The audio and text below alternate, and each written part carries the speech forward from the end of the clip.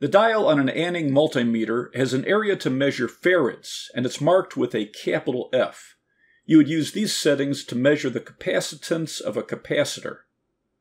There's an area to test 1.5, 9, and 12 volt batteries.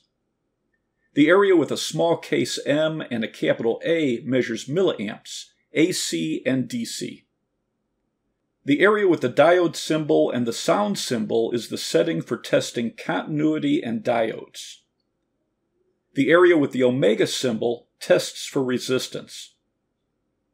The area with the capital V, the wavy line, solid line, and three dots measures AC and DC voltage.